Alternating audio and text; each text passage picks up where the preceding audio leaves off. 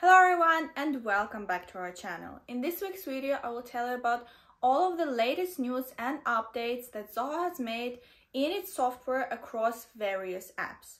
Before I begin this video, please make sure to subscribe to our channel and click the notification button. And also make sure to follow our LinkedIn and Facebook group to get Zoho news daily or join our newsletter to get the Zoho news every single week. I will leave the links to the groups and also to the newsletter where you can sign up for the newsletters down below in the description box.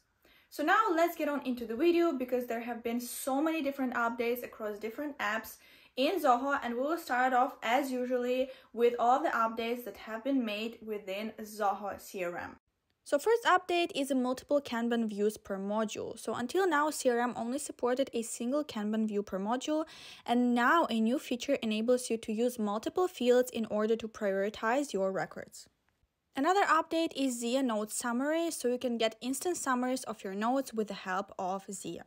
There are also significant enhancements to Zoho CRM Sandbox.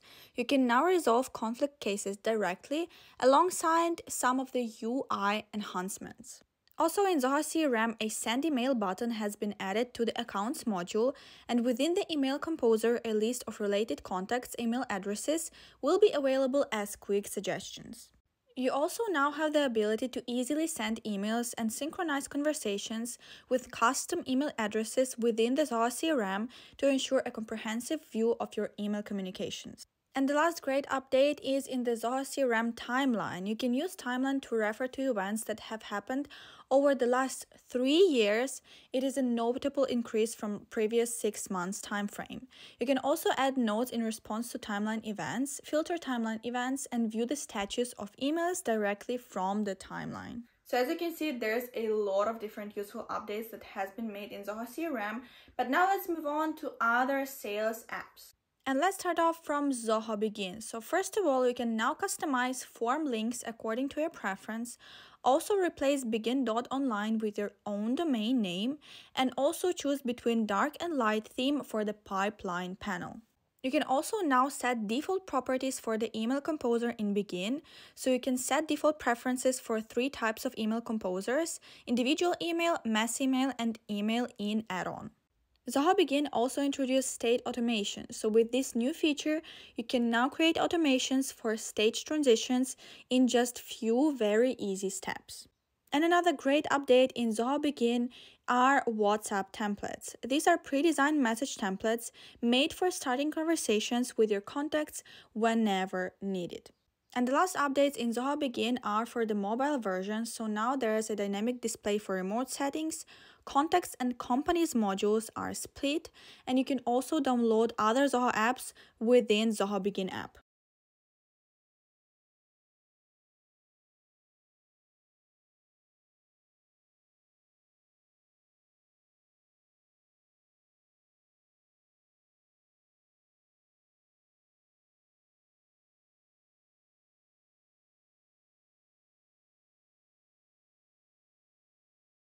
So instant messaging chatbots are already supported for Facebook, WhatsApp, Instagram, and now Telegram joins the party.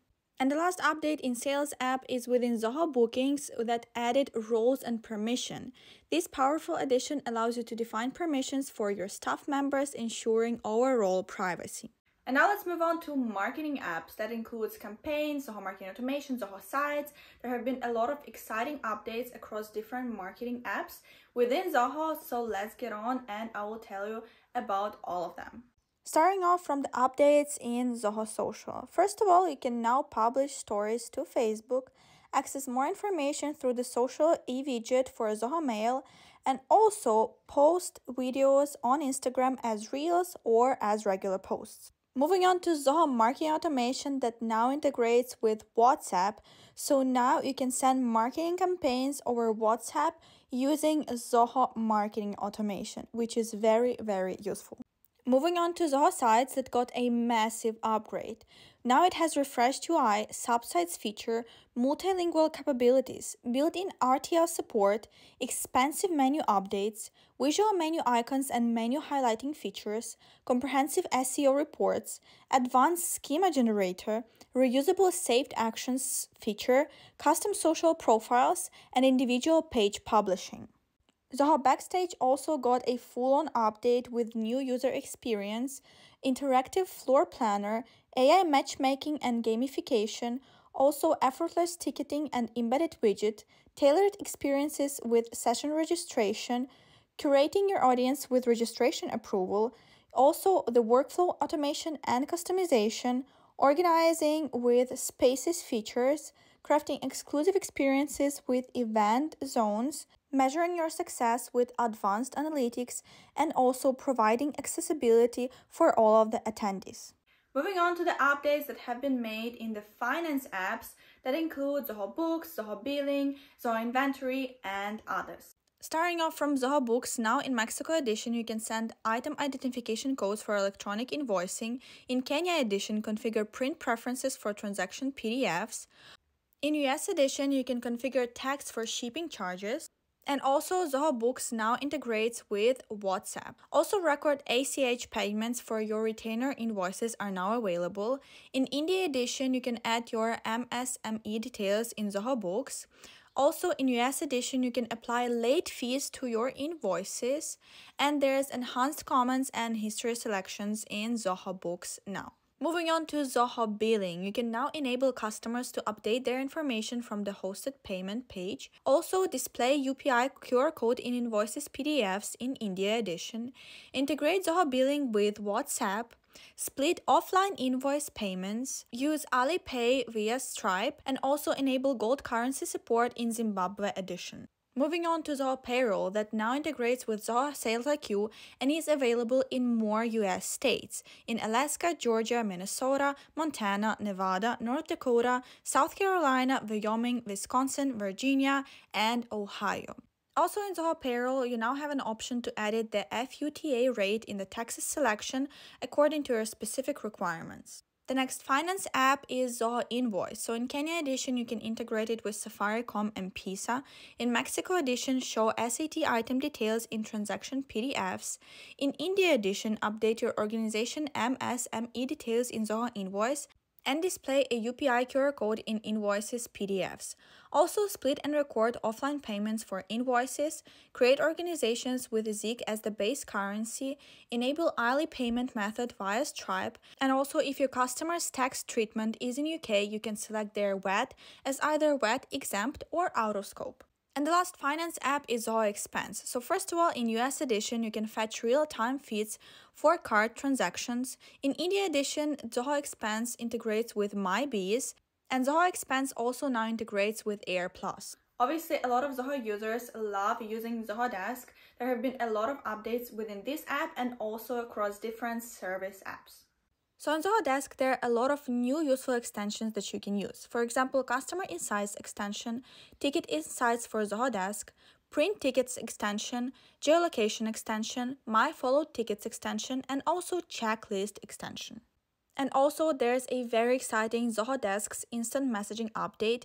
You can now revolutionize customer communications with WhatsApp in Turkey. Let's move on to the BI tools and let's see what's new in Zoho Analytics. So there are a few new features in Zoho Analytics. For example, a workspace level currency formatting, data storytelling with Zia Insights in Zoho Show, also wrapping text in dashboards, a brand new sunburst chart and brand new conversion bar chart, auto suggestions on report creation, top and bottom within the filters, and also an inline embed component in the dashboard. Moving on to developer apps and obviously Zoho Creator and Zoho Catalyst are very very useful tools so let's see what updates did they get during the last weeks. So the new exciting features in Zoho Creator include during actions in the blueprint, new widget configuration, subform column freeze, new data types in formula fields, and greatly increased maximum character limits.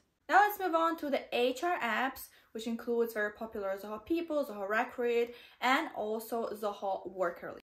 Starting off from Zoho Recruit, where you can now enhance data visibility with the new feature of mapping fields from the lookup module. Another amazing feature in Zoho Recruit is the resume harvester. It's a feature that automates the search for potential candidates across various job boards based on your specific criteria. And there are also exciting updates to Zoho Recruit's career site feature. There are embedded code UI enhancement and also you can now retain your closed jobs on the career site. So as you can see, there have been so many different updates across different apps.